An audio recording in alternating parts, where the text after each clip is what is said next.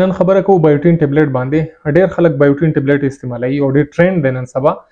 د ویښتو د پاره یا د سکین د پاره یا اکثر خلک نکونه د چا خراب وي داغه د پاره خلک استعمالوي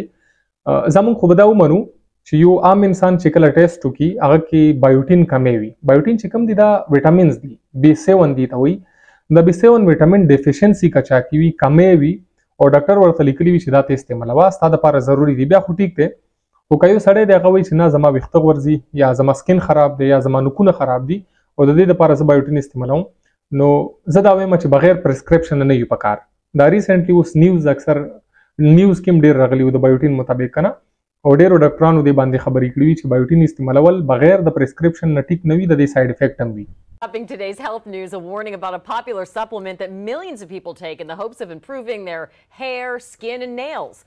Local 10 medical specialist Christy Krueger in our newsroom with details. Right. Well, we're talking about biotin, which is a vitamin B supplement many thought was perfectly safe and harmless. Turns out it's not. The Food and Drug Administration is now coming out with a warning that biotin, also known as vitamin B7, can cause misleading test results that can lead to unnecessary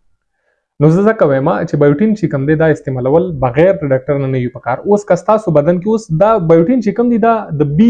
ګروپ والا وټامین دی لکه بی کې اوس بی 1 چې کوم دی تایمین دی بی 2 دی رایبوفلاوین دی او بی 3 دی نیاسین دی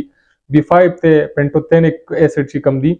او دا سی بی 6 ته پایروډوکسین دی او بی 7 بیا بایوټین دی موږ سره او بی 9 چې کوم دی فولیټ دی فولیک اسید بی 12 چې کوم دی کوبالامین دی اوس که د چا ډیفیشنسي وي د ویټامین هغه ته ضروری څه شی دی اکثر رګ نم وینالي او د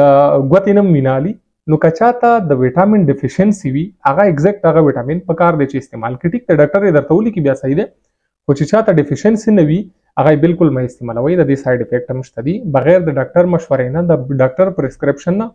یو ټابلیټ هم مې استعمالوي هغه بیا سیف نه وي رواني